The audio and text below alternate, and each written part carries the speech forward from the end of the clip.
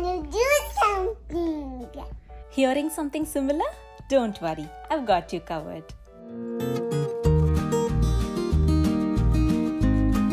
And in this video, we will be looking at some learning activities for kids. So let's get started with the first one. Finger painting. Learning to count can be made fun with this hands-on painting task. Research shows that art-related activities when presented to kids from a very young age help in brain development. So here I have a simple cloud and based on the numbers in each column, Saanvi is using her fingers to paint raindrops. This promotes motor skills, sensory experience, imagination and color recognition abilities. As kids get comfortable with counting, feel free to go to the next level. In this case, we can talk about how clouds are formed, about rain, storms, rainbow, or anything related to the sky. Keep changing the theme so that various topics can be discussed. For example, instead of clouds, young ones can add petals to a flower or feathers to a bird or topics on a cupcake. These are just some ideas that I can think of. Hope that helps. Next up is in the alphabet phonics category. Which letter do I start with?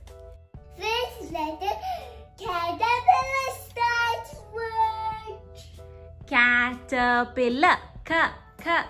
C. yes. Just grab some toys around you, take turns, and ask which letter each toy or object starts with. Saanvi, can you pick up that fish for me? Okay. Which letter fish starts with? Fish. F. Good job! Which letter B starts with? Me B. B. Initially, I used to stress on the beginning phonic of the word so that Saanvi learns to map the sound to the letter. Over time, she got hold of it and now she's able to spell it all by herself. Practice is the key here, and doing it this way in the form of a game makes it interesting and fun for both of us. I improvised the game by asking Saanvi to think of other objects or words that start with the same letter, and you get the idea.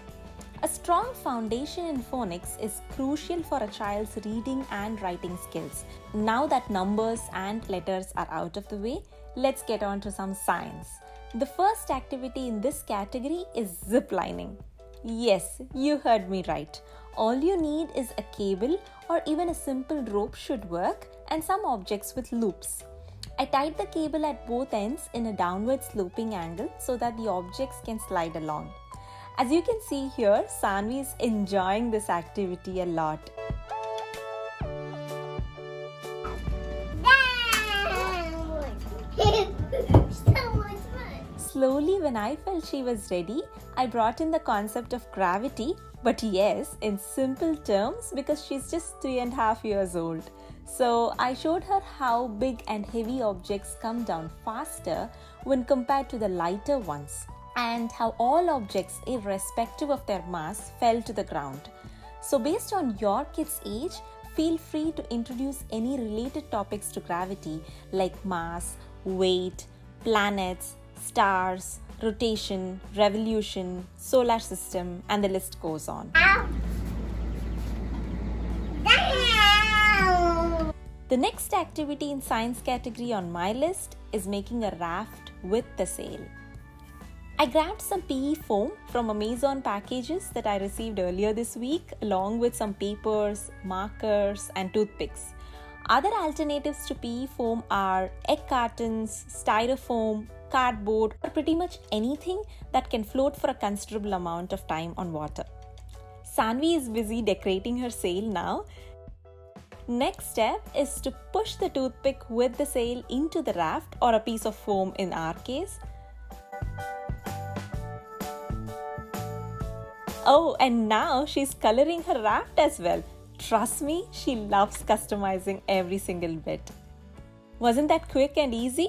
Wow. Alright, with the raft ready to go, let's get on to the fun part. Water play, yay! I filled in some water near our dressing area and Saanvi is all set to sail. Looks like she brought along her favorite rubber ducky and puppy for some pretend play. Duck, dog, feelings. We have a big they are friends. Ducky swimming.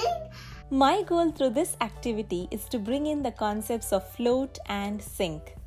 To supplement, I have a bowl of water here and some objects to demonstrate the same. Go ahead and explain in depth as applicable to your kid's age. Teaching such concepts through games ensures more attention and involvement. As a result, it improves the memory to a great extent because they make connections with what they already know, and that's exactly how our brain works. I guess that's a lot of science for one day. Let's get on to paper folding now. We will be making some colorful bird finger puppets. Saanvi started off origami with simple ideas involving minimal folds like turning a square into a triangle, a two fold heart, etc.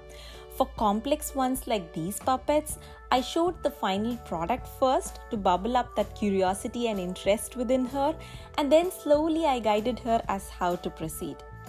I have provided the link to the YouTube video that we followed for making these puppets in the description box below. Saanvi is now unleashing her creativity by coloring the birds with some markers. And it's done! Benefits of origami. Since we use both hands, it stimulates both left and right hemispheres of the brain.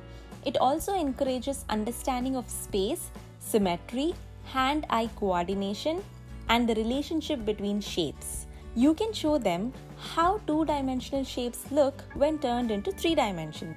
Since we are already on the topic of brain development, here is another simple activity to improve concentration and coordination. On some A4 sheets, draw lines like these. You will need two coins. I took a couple chips from a board game, but anything similar would work. The goal here is to trace the lines with the coins using both hands at the same time. I started with straight lines so that Saanvi understood the exercise first, then steadily I increased the difficulty level. This is a very simple yet effective exercise for improving concentration, hand eye coordination, and stimulating the activity of both hemispheres of the brain. Do give it a try. Okay, we have made it to the last activity for the day. What better way to end this video than with a magic trick? Quickly grab some paper towels, markers, and a bowl of water. Fold the paper towel into half. Using markers or sketch pens, draw a picture half on the inside of the paper towel and half on the outside.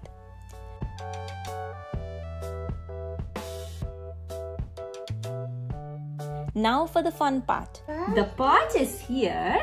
The flowers are Yeah, but the flower is here. Wow! Immerse the paper towel and there you go. Magic. How cool is that? Hope you had fun watching these simple yet effective DIY fun learning indoor activities. We hope you liked this video. If yes, Give it a big thumbs up. Bye bye. Bye bye.